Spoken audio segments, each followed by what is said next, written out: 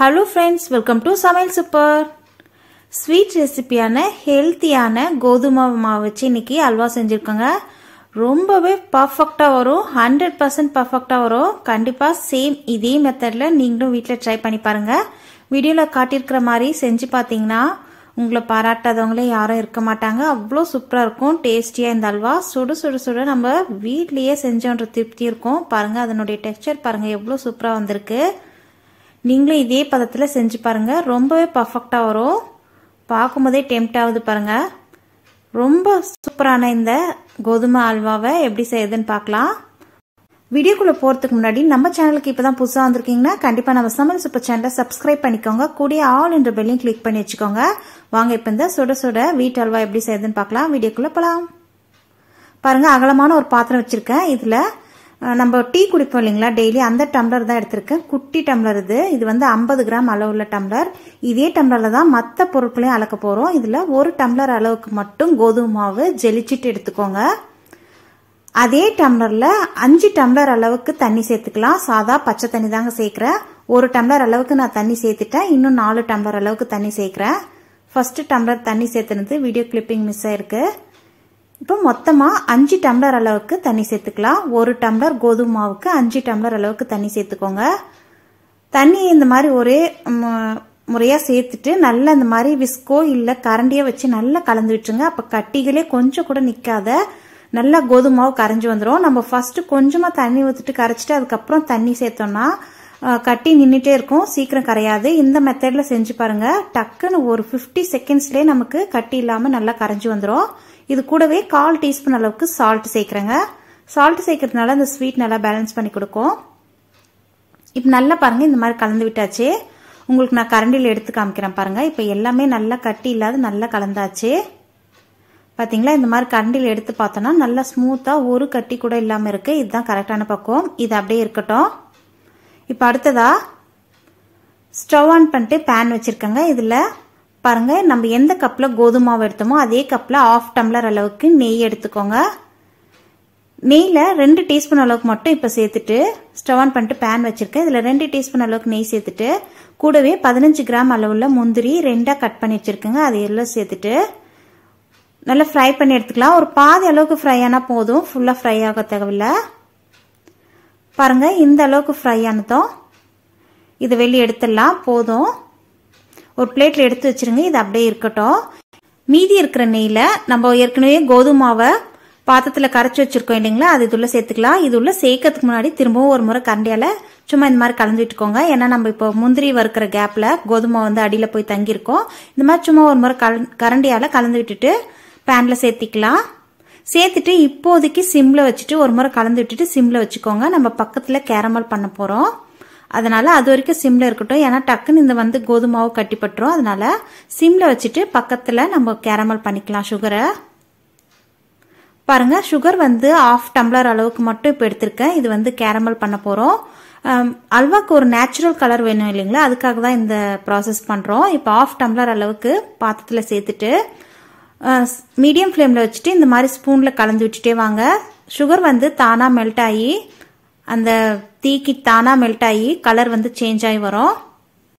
வேற எதுவுமே தண்ணி சேர்க்க தேவையில்லைங்க. தண்ணி சேர்க்காம தான் நான் இப்போ ஸ்பூனில் கலந்து விட்டுட்டு இருக்கேன். நல்லா கலந்து விட கலந்து விட. சுகர் பாருங்க நல்லா கரைஞ்சி ஓரளவுக்கு கலர் சேஞ்ச் ஆகி வந்திருக்கு. இன்னுமே நல்லா கரைஞ்சி நல்லா டார்க் கலராக ஆகி வரும்.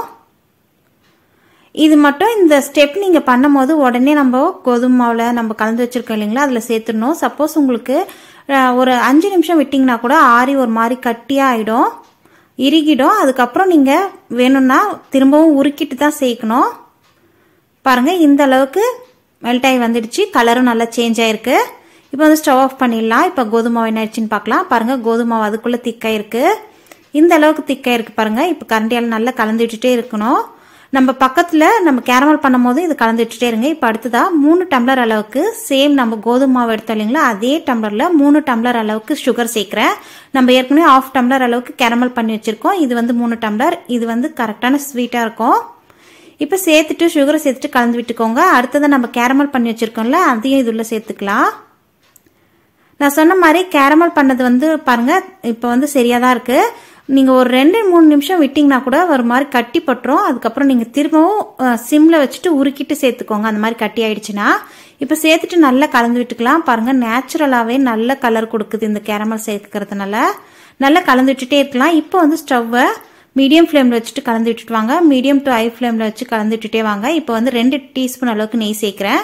நம்ம ஆஃப் டம்ளர் அளவுக்கு நெய் எடுத்து வச்சிருந்தோம் இல்லைங்களா? அதில் ஏற்கனவே நம்ம ரெண்டு டீஸ்பூன் அளவுக்கு சேர்த்தோம். இப்போ ரெண்டு டீஸ்பூன் அளவுக்கு சேர்த்துட்டு இந்த மாதிரி கலந்து விட்டுட்டே இருக்கலாம். உங்களுக்கு இன்க்ரீடியன்ஸ் வேணும்னா பாருங்கள் மெஷர்மெண்ட்டோட நான் சொல்லியிருக்கேன். இது காப்பி பண்ணி வச்சுட்டு கூட நீங்கள் செய்யலாம். இப்போ நல்லா கலந்து விட்டுட்டே இருங்க. நல்லா கலந்து விட கலந்து விட நல்லா கலர் சேஞ்ச் ஆகி நல்லா கெட்டிப்பட்டுடுச்சு பாருங்கள் இது வந்து இந்த அல்வா ரெடி ஆகுறதுக்கு டுவெண்ட்டிலேருந்து டுவெண்ட்டி ஃபைவ் மினிட்ஸ் ஆகும். இப்போ மீதி இருக்கிற ரெண்டு டீஸ்பூன் அளவுக்கு நெய்யை சேர்க்குறேன் சேர்த்துட்டு கலந்துட்டுக்கலாம். இந்த மாதிரி நெய் வந்து அப்பப்போ ரெண்டு ரெண்டு ஸ்பூன் அளவுக்கு சேர்த்துக்கோங்க. இது நல்லா அப்சர்வ் ஆகி நல்லா திக்கானதுக்கப்புறம் இன்னும் ரெண்டு டீஸ்பூன் அளவுக்கு சேர்த்துக்கினா சரியா இருக்கும். நல்லா கலந்து விட கலந்து விட கெட்டியாயிட்டே வரும். இப்போ வந்து கடைசியாக இருக்கிற ரெண்டு டீஸ்பூன் அளவுக்கு நெய் சேர்த்துட்டேன். அவ்வளோதான் இனிமேட் நெய் சேர்க்குற வேலை முடிஞ்சது. பாருங்க நல்லா கலந்து விட்டுட்டே வரலாம். நம்ம சேர்த்த ஒரே ஒரு சின்ன டம்ளர் அளவுக்கு தான் மாவு கோதுமாவு சேர்த்தோம். அதுக்கு பாருங்க எவ்வளோ அல்வா வந்திருக்கு. கிட்டத்தட்ட முக்கா கிலோ கிட்ட அல்வா வருங்க. நம்ம ஒரு ஐம்பது கிராம் அளவுக்கு கோதுமாவை சேர்த்தனாவே முக்கா கிலோ அளவுக்கு அல்வா கிடைச்சிடும். டேஸ்ட்டும் சும்மா பக்கா பக்காவாக இருக்கும். பாருங்கள் இந்த அளவுக்கு கெட்டியானதுக்கப்புறம் நம்ம ஏற்கனவே முந்திரி வறுத்து வச்சுருக்கோம்ல அது இந்த மாதிரி சேர்த்துக்கலாம். இதுதான் கரெக்டான பக்கம் சேர்த்துட்டு நல்லா கலந்து விடுங்க. நல்லா இன்னும் கொஞ்சம் திக்காய் வரணும். பேனில் ஒட்டாத அளவுக்கு வரணும் அல்வா. இன்னும் கொஞ்சம் திக்காகணும். இன்னொரு அஞ்சு நிமிஷத்துக்கெல்லாம் நமக்கு அல்வா ரெடி ஆகிடும் திரும்பவும் அதே போல தான் கலந்து விட்டுட்டே இருக்கணும். கோதுமை அல்வா நிறைய பேர் கஷ்டம்னு நினச்சிட்டு இருக்காங்க. ஆனால் ரொம்ப ரொம்ப ஈஸி அந்த பழைய மெத்தடில் செஞ்சால் தான் கஷ்டம். கோதுமையை ஊற வச்சு அதை அரைச்சி அந்த பால் எடுத்து அதுக்கப்புறம் செய்வாங்க. அதுதாங்க கஷ்டம். ஆனால் இது ரொம்ப ரொம்ப ஈஸி மெத்தடு பாருங்கள் அல்வா கன்சிஸ்டன்சி கரெக்டாக வந்திருக்கு. அந்த டிரான்ஸ்பரண்ட்டாக கண்ணாடி பதத்துக்கு சூப்பரான பதத்தில் வந்திருக்கு பாருங்கள் நல்லா உருண்டு திரண்டு வந்திருக்கு. இப்போ நம்ம ஒரு பவுலில் மாற்றிக்கலாம் இதை. நீங்கள் முந்திரிக்கு பதிலாக வேணும்னா உங்களுக்கு விருப்பமான நர்சல் சேர்த்துக்கலாங்க. வேர்க்கடலை கூட ஃப்ரை பண்ணிட்டு சேர்த்துக்கலாம். அதுவும் சூப்பராக இருக்கும். கரெக்டான பக்குவத்தில் இருக்கு. ஒரு பவுலில் மாற்றிக்கலாம் பாருங்கள் சுட சுட சுட சூப்பரான டெக்ஸ்சரோட நம்ம கோதுமை அல்வா ஹெல்த்தியான அல்வா ரெடி ஆயிடுச்சு. பார்க்கும் போதே எவ்வளோ சூப்பராக இருக்குது கண்டிப்பாக நீங்கள் இந்த ரெசிபியை உடனே ட்ரை பண்ணுங்கள் ட்ரை பண்ணிவிட்டு மறக்காமல் கமெண்ட் செக்ஷனில் கீழே ஷேர் பண்ணுங்கள் சூப்பரான இந்த கோதுமை அல்வா பாருங்கள் கடாயில் கொஞ்சம் ஒட்டி இருந்ததை எடுத்து காமிக்கிறேன். எவ்வளோ சூப்பராக வந்திருக்கு பாருங்கள் ஒட்டாத அதனுடைய டெக்ஸ்சர் பாருங்கள் எவ்வளோ பர்ஃபெக்டாக வந்திருக்கு. ரொம்பவே சூப்பராக இருக்குது கண்டிப்பாக நீங்கள் இந்த அல்வாவை மிஸ் பண்ணாமல் செய்யுங்க.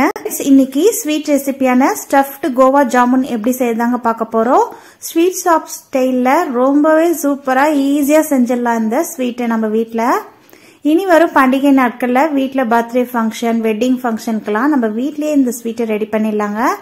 ஸ்வீட் கடைக்கு போய் நம்ம வாங்கணுன்ற அவசியமே இல்லை. சுலபமாக இந்த ஸ்வீட் ரெடி பண்ணிடலாம். கோவா ஸ்வீட் எப்படி செய்யுதுன்னு பார்க்கலாம். வீடியோக்குள்ளே போகலாம் ஒரு மிக்சிங் பவுல் எடுத்து வச்சிருக்கேன். இதில் ரெண்டு பேக்கெட் அளவு இன்ஸ்டன்ட் மாவு தாங்க நான் இன்னைக்கு சேர்த்து குலாப் ஜாமுன் பண்ண போகிறோம் ஆசிர்வாத் பிராண்ட் எடுத்திருக்கேன். நீங்கள் எந்த பிராண்டுனாலும் எடுத்துக்கோங்க. சேம் இதே மெத்தட் ஃபாலோ பண்ணிக்கோங்க. ரெண்டு பேக்கெட் மாவையும் நான் மிக்சிங் பவுலில் மாற்றிடுறேன் ஒரு பேக்கெட்டினுடைய அளவு வந்து ஒன் செவன்ட்டி கிராம் இருக்குது ரெண்டு பேக்கெட் சேர்த்து த்ரீ ஃபார்ட்டி கிராம்ஸ் வரும். இப்போ இது கொஞ்சம் கொஞ்சமாக சாதா வாட்டர் தாங்க பச்சை தண்ணி ஊற்றி கொஞ்சம் கொஞ்சமாக தண்ணி சேர்த்துட்டு பிசைஞ்சிக்கலாம். மாவை. மாவு வந்து கொஞ்சம் கொஞ்சமாக தண்ணி சேர்த்துட்டு நல்லா சாஃப்டாக பிசைஞ்சிக்கோங்க. மாவு வந்து ஹார்டாக இருக்கக்கூடாது நல்லா சாஃப்டாக இருக்கணும். அப்போ தான் ஜாமுன் வந்து நல்லா ஊறி நமக்கு சக்கரைப்பாகில் ஊறி சாஃப்டாக இருக்குங்க. பாருங்கள் இந்த அளவுக்கு பிசைஞ்சதுக்கப்புறம் இதுக்குள்ளே ரெண்டு டீஸ்பூன் அளவுக்கு நெய் சேர்க்குறேங்க. நெய் சேர்த்துட்டு நல்லா பிசைஞ்சிக்கலாம். பாருங்கள் இந்த அளவுக்கு ஸ்மூத்தாக பிசைஞ்சாச்சு. நம்ம லாஸ்ட்டாக நெய் சேர்த்து இல்லைங்களா? நெய் பிடிக்காதவங்க ரெண்டு டீஸ்பூன் அளவுக்கு ஆயில் சேர்த்து கூட மாவு பிசைஞ்சுக்கோங்க நெய் சேர்க்கும் போது நல்லா இருக்கும். இப்போ அப்படியே மூடி வச்சிடலாம். ஒரு ஃபிஃப்டீன் மினிட்ஸ் அப்படியே இருக்கட்டும். அதுக்குள்ளே சுகர் சிரப் ரெடி பண்ணிக்கலாம். சுகர் சிரப்புக்காக ஒரு பாத்திரம் வச்சுருக்கேன். இதில் ரெண்டு கப் அளவுக்கு சுகர் சேர்க்கிறேன். ஒரு கப்பினுடைய அளவு வந்து நானூறு கிராம் இருக்கும். ரெண்டு கப் சேர்த்து எட்நூறு கிராம் அளவு சக்கரை சேர்த்துருக்கேன். எந்த கப்பில் சக்கரை எடுக்கிறோமோ அதே கப்பில் ஒன்றரை கப் அளவுக்கு தண்ணி சேர்த்துக்கோங்க. சரியா இருக்கும். சக்கரை பாகு வந்து கொதிக்க ஆரம்பிச்சிருக்கு. இப்போ இதுக்குள்ள கால் டீஸ்பூன் அளவுக்கு ஏலக்காய் தூள் சேர்த்துக்கலாம். ஏலக்காய் பவுடர் சேர்க்கும் போது அதோட ஃப்ளேவர் நல்லா இருக்கும் இப்போ நல்லா கலந்து விட்டுக்கோங்க. ஒரு நாலு நிமிஷம் கொதிச்சா போதும். அதிக நேரம் கொதிக்க விட்டுறாதீங்க. பாருங்க இந்த மாதிரி தொட்டானா லைட்டா பிசு பிசுப்பு தன்மை இருக்கணும். இதுவே போதும். அதிக நேரம் கொச்சிச்சுன்னா அப்புறம் ஜாமுன்லாம் ஊறாது. ஒரு நாலு நிமிஷம் கொதிக்க விட்டிங்கனாவே போதும். இப்போ வந்து சூடாக இருக்கணும். அதுக்காக லைட்டாக அந்த மாதிரி கேப் வர மாதிரி மூடி போட்டு வைங்க. குப்புன்னு மூடிட்டோம்னா மூடி வழியாக ஆவிப்பட்டு தண்ணி விட்டுரும். ஜீரா வந்து கெட்டு போயிடும். ரொம்ப நாளைக்கு தாங்காது. இப்போ பாருங்கள் மாவு நல்லா திரும்பவும் ஒரு முறை நல்லா பிசைஞ்சிக்கலாம். மாவு நல்லா பிசைஞ்சதுக்கப்புறம் கையில் கொஞ்சோண்டு எண்ணெயோ இல்லை கீயோ அப்ளை பண்ணிக்கிட்டு சின்ன சின்ன உருண்டைகளாக உருட்டிக்கோங்க. ஃபஸ்ட்டு உருண்டையை உருட்டிட்டு நல்லா ஹார்டாக கொஞ்சம் அழுத்தம் கொடுத்து உருட்டிடுங்க. உருட்டினதுக்கப்புறம் மேலே வந்து ஸ்மூத்தாக உருட்டினீங்கன்னா உங்களுக்கு கொஞ்சம் கூட கிராக் இல்லாமல் வரும். வீடியோல காட்டியிருக்கிற மாதிரி இந்த சிலிண்டர் ஷேப்புக்கு கொண்டு வாங்க. ஃபர்ஸ்ட் உருண்டை உருட்டிட்டு அதுக்கப்புறம் இந்த சிலிண்டர் ஷேப் கொண்டு வந்துட்டு அந்த எட்ஜஸ் இருக்கு இல்லைங்களா அதை கொஞ்சம் லைட்டா டேப் பண்ணி விட்டுக்கிட்டீங்கன்னா இந்த ஷேப்புக்கு வந்துடும் இதே போல ஒவ்வொரு உருண்டைகளா உருட்டி இந்த ஷேப்புக்கு கொண்டு வந்துருங்க. உருட்டும் போதே நம்ம கொஞ்சம் கூட கிராக் இல்லாம உருட்டிக்கிட்டோம்னா சூப்பரா நமக்கு எண்ணெயில பொரிஞ்சு வரும்போது நல்லா வந்துடும் நான் வந்து ஸ்டவ் ஆன் பண்ணிட்டு கடாயில போதுமான அளவுக்கு எண்ணெய் சேர்த்து காய வச்சு வச்சிருக்கேங்க. எண்ணெய் வந்து அதிகமா காயக்கூடாது. அதே போல் ஆயில் வந்து ரீஃபைண்ட் ஆயில் இல்லைன்னா சன்ஃப்ளவர் ஆயில் யூஸ் பண்ணுங்க. கடலை எண்ணெய் யூஸ் பண்ணாதீங்க. கடலை எண்ணெய் யூஸ் பண்ணிங்கன்னா ஸ்வீட் வந்து ஸ்மெல் வரும். அதனால அந்த கடலை எண்ணெய் ஸ்மெல் வரும். அதனால ஃப்ளேவர் இல்லாத ஆயில் யூஸ் பண்ணுங்க. ஆயில் வந்து ரொம்ப ஹீட்ல இருக்கக்கூடாது. இப்போ ஒன்னொன்னா போட்டுட்டு உடனே கலந்து விடாதீங்க. அதுவா தானா மேலே எலும்பி வருது பாருங்க. எலும்பி வந்ததுக்கு அப்புறம் கலந்து விடுங்க. ஃபர்ஸ்ட் பேட்ச் நமக்கு பொரிஞ்சு வரதுக்கு அட்லீஸ்ட் பத்து நிமிஷமாவது ஆகும். இந்த அளவு கலர் சேஞ்ச் ஆனதுக்கு அப்புறம் வெளியே எடுத்துடலாம். கொஞ்சம் பொறுமையா சிம்ல வச்சே பொறிச்சு எடுக்கணும். அப்பதான் உள்ள எல்லாம் வெந்து வரும். ஹை ஃப்ளேமில் வச்சுட்டிங்கன்னா வெளியே கருகிடும் உள்ள வேகாதுங்க. லோ ஃப்ளேமில் வச்சுட்டு நல்லா சிம்ல வச்சுட்டு நல்லா பொரிச்சு எடுத்துக்கோங்க. இப்போ எல்லாமே செவந்துடுச்சு. இப்போ சூடா இருக்கிற சக்கரைப்பாகுல சேர்த்துக்கலாம். சக்கரைப்பாகு சப்போஸ் ஆறிட்டு இருந்ததுன்னா லைட்டா சூடு பண்ணிட்டு சேர்த்துக்கோங்க. அப்பதான் ஊறும் ஜீரால. இதே போல எல்லா பேட்சஸும் நான் பொறிச்சு எடுத்துட்டு ஜீரால சேர்த்துக்கிறேன் நம்ம சேர்த்த சக்கரை பாகுக்கு சக்கரை பாகு செஞ்சோம் இல்லைங்களா? அதுக்கும் இந்த மாவுக்கும் சரியா போயிடும். ஈக்குவலா ஊறி வரத்துக்குள்ள. இது வந்து ஆஃப் அன் ஹவர்ல நமக்கு ஊறிடும். ஜாமுன் வந்து நம்ம அதுக்கப்புறம் கோவா ஸ்டஃப் பண்றதுக்கு சரியா இருக்குங்க. பாருங்க எல்லா இதுவும் நான் பொறிச்சாச்சு இன்னும் ஒரே ஒரு பேட்ச் தான் இருக்கு. அதையும் பொரிச்சிட்டு இது உள்ள சேர்த்துக்கலாம். சேர்த்தாச்சு. இப்போ சேர்த்துட்டு நல்லா குலுக்கி விட்டுக்கோங்க ஒரு முறை. அது அப்படியே ஊறின்னு இருக்கட்டும். அடுத்ததான் நமக்கு கோவாக்கு ரெடி பண்ணிக்கலாம். கோவாக்காக நான் ஒரு கப் அளவுக்கு மெஷரிங் கப்பில் ஒரு கப் அளவுக்கு பால் பவுடர் எடுத்திருக்கேன். கூடவே ஐம்பது எம்எல் அளவுக்கு காய்ச்ச ஆற வச்ச பால் சேர்க்குறேங்க. அடுத்ததாக ரெண்டு டேபிள் ஸ்பூன் அளவுக்கு நெய் சேர்க்குறேன். கூடவே நாலு டேபிள் ஸ்பூன் அளவுக்கு சுகர் சேர்க்குறேன். சரியா இருக்கும். இது ஏற்கனவே சுகர் இருக்கு இந்த பால் பவுடர்ல இருந்தாலும் நம்ம கொஞ்சம் சுகர் சேர்த்தோம்னா நல்லா இருக்குங்க. சேர்த்துட்டு நல்லா மிக்ஸ் பண்ணி விட்டுக்கலாம். அடுப்பை வந்து சிம்ல வச்சுட்டு ஃபர்ஸ்ட் மிக்ஸ் பண்ணி விட்டுக்கோங்க. ஃபர்ஸ்ட் ஹை ஃப்ளேம்ல வச்சிட்டிங்கன்னா கட்டி கட்டி ஆயிடும் பவுடர் அதனால சிம்ல வச்சுட்டு நல்லா மிக்ஸ் பண்ணி விட்டுக்கோங்க. நல்லா மிக்ஸ் பண்ண மிக்ஸ் பண்ண நல்லா கரைஞ்சிடும். நம்ம சேர்த்த இந்த சக்கரை பால்லாம் சேர்த்தோம் இல்லைங்களா? நல்லா லிக்விட் கன்சிஸ்டன்சிக்கு வந்துடும் மீடியம் டு ஹை ஃப்ளேம்ல வச்சுக்கோங்க. நல்லா கரைஞ்சதுக்கு அப்புறம் கிட்ட இருந்து நீங்க கலரி எடுத்துக்கலாம். ஒரு அஞ்சு நிமிஷத்துக்குலாம் நல்லா கெட்டியாயிடும். நல்லா கலர கலர நல்லா திக்காயினே வரும். நல்லா பேனில் ஒட்டாத மாதிரி வந்ததுக்கப்புறம் நம்ம ஸ்டவ் ஆஃப் பண்ணிக்கலாங்க. நல்லா கலரிட்டே இருங்க கைவிடாமல் கலரை கலரை நல்லா பாருங்கள் பேனில் ஒட்டாமல் உருண்டு திரண்டு வருது. இந்த மாதிரி உருண்டு திரண்டு வரும்போது நம்ம ஸ்டவ் ஆஃப் பண்ணிக்கலாம். ஸ்டவ் ஆஃப் பண்ணிடுறேன் அவ்வளோதான் நல்லா இதை ஆற விட்டுருங்க. ஒரு ஃபிஃப்டீன் மினிட்ஸ் நல்லா ஆறட்டும். ஆறுனதுக்கப்புறம் நம்ம திரும்பவும் பிசையணும் பாருங்க ஃபிஃப்டீன் மினிட்ஸ் ஆகிடுச்சி நல்லா ஆறிடுச்சு. நல்லா திரும்பவும் ஒரு முறை கையால் நல்லா பிசைஞ்சுக்கோங்க கோவாவை. நல்லா பெசிய பெசிய நல்லா சாஃப்டாகவும் கையில் ஒட்டுற மாதிரி தெரிஞ்சதுன்னா ஒரு ஸ்பூன் அளவுக்கு நெய் சேர்த்துக்கோங்க. நெய் சேர்த்துட்டு நல்லா இந்த மாதிரி சாஃப்டாக பிசைஞ்சுக்கோங்க. பாருங்க நல்லா சாஃப்டாகிடுச்சு கோவா ரெடியாக இருக்குது ஸ்டஃப்டு வைக்க நமக்கு. இப்போ அடுத்ததான் நம்ம ஜாமுன் உள்ள ஸ்டஃப் பண்ண ரெடியாக இருக்குங்க. அடுத்ததான் நம்ம ஜாமுன் என்ன இருக்குன்னு பார்க்கலாம். இதை அப்படியே மூடி வைக்கலாம். ஜாமுனும் நல்லா ஊறி ஆறி வந்திருக்கு பாருங்க. நல்லா ஆறிடுச்சு. நல்லா ஊறியும் வந்திருக்கு. பார்க்கும்போதே உங்களுக்கு தெரியும். ஜாமுன்லாம் நல்லா புசு புசுன்னு எப்படி இருக்கு பாருங்க. கோவாவும் ரெடியா இருக்கு. ஜாமுனும் ரெடியா இருக்கு. ஸ்டஃப் பண்ணிடலாம். பாருங்க ஜூஸியான ஜாமுன் சூப்பரா இருக்கு. சும்மா சாஃப்டா அவ்வளோ நல்லா இருக்குங்க. இப்போ ஒவ்வொரு ஜாமுனும் எடுத்து ஸ்டஃப் பண்ணிக்கலாம். ஜாமுன் எடுத்துட்டு இந்த மாதிரி நைஃப்ல லைட்டா ஸ்லிட் பண்ணிக்கோங்க. லைட்டா இந்த மாதிரி கீரல் போட்டுக்கிட்டிங்கன்னா ஓப்பன் ஆயிடுச்சு பாருங்க. இதுக்குள்ள நம்ம கோவாவை அதே ஷேப்க்கு சிலிண்டர் ஷேப்க்கு உருட்டிட்டு உள்ள ப்ரெஸ் பண்ணி அழுத்தி விட்டுக்கலாம். பாருங்கள் லைட்டாக ஓப்பன் பண்ணிவிட்டு இந்த கோவா உள்ள ஸ்டஃப் பண்ணிவிட்டு அந்த எஜ்ஜஸை லைட்டாக ப்ரெஸ் பண்ணி விட்டுக்கோங்க. கோவாவையும் லைட்டாக அமுத்தி விட்டுட்டு நல்லா இந்த மாதிரி ஷேப் கொண்டு வந்துட்டோம்னா அவ்வளோதான் நமக்கு ஸ்டஃப்டு கோவா ஜாமுன் ரெடி ஆயிடுச்சு பாருங்க. இதே மாதிரி நீங்கள் எல்லா ஜாமுன்லேயும் ஸ்டஃப் பண்ணிக்கோங்க. கோவா வந்து இந்த மாதிரி தனித்தனியாக உருட்டுறது கஷ்டமாக இருந்ததுன்னா கோவா ஃபஸ்ட்டு நீங்கள் சிலிண்டர் ஷேப்பில் உருட்டிக்கோங்க. இந்த மாதிரி உருட்டிட்டு அது அதுக்கப்புறம் கூட நீங்கள் ஸ்டஃப் பண்ணால் ஈஸியாக இருக்கும்.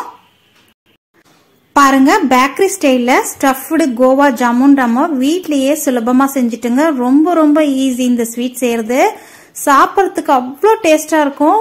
நாக்கிலே நிற்கும் இந்த டேஸ்ட்டு அந்த கோவாவோட அந்த ஜாமுன் சேர்த்து சாப்பிடும் போது அவ்வளோ சூப்பராக இருக்கும். நம்ம இன்னைக்கு ரெண்டு பேக்கெட் அளவு இன்ஸ்டன்ட் குலாப் ஜாமுன் பவுடர் சேர்த்தோம் இல்லைங்களா? அதுக்கு ஒரு கப் அளவுக்கு பால் பவுடர் சேர்த்து கோவா ரெடி பண்ணோம். நீங்க சப்போஸ் ஒரு பேக்கெட் மட்டும் இன்ஸ்டன்ட் குலாப் ஜாமுன் பவுடர் சேர்த்தீங்கன்னா ஹாஃப் கப் அளவுக்கு மில்க் பவுடர் சேர்த்து கோவா ரெடி பண்ணுங்க. சரியா இருக்கும். மேல கார்னிஷிங் போஸ்டர் நான் வந்து பாதம் வச்சுக்கோங்க. ரொம்ப சூப்பரா இருக்கும். ஸ்வீட் சாப்பிட்டா அவ்வளோ சூப்பரா இருக்கும். அந்த ஜாமுன் கோவாவோட அந்த ஜாமுன் சாப்பிடும் போது ரொம்ப ரொம்ப டேஸ்ட் ரிச்சா இருக்கும். கண்டிப்பா நீங்க இந்த ஸ்வீட் ரெசிபியை மிஸ் பண்ணாம செஞ்சு பாருங்க. செஞ்சு பார்த்துட்டு மறக்காம கமெண்ட் செக்ஷன்ல ஷேர் பண்ணுங்க. வரக்கூடிய பண்டிகை நாட்கள் வீட்டில் விசேஷம்னா நீங்க இந்த ஸ்வீட்டை செஞ்சு அசத்தலாங்க. எல்லாருக்குமே ரொம்ப பிடிக்கும். இந்த ஸ்வீட் ரெசிபி உங்களுக்கு பிடிச்சிருந்ததுன்னா லைக் ஷேர் சப்ஸ்கிரைப் பண்ண மறந்துடாதீங்க. நிறைய நிறைய ஃப்ரெண்ட்ஸ்க்கு இந்த ஸ்வீட் ரெசிபியை ஷேர் பண்ணுங்க. நம்ம சேனலுக்கு நிறைய ரெசிபிஸ் இருக்கு. விசிட் பண்ணி இன்னொரு இன்ட்ரெஸ்டிங்கான ரெசிபியோட சந்திக்கிறேன். நன்றி வணக்கம்.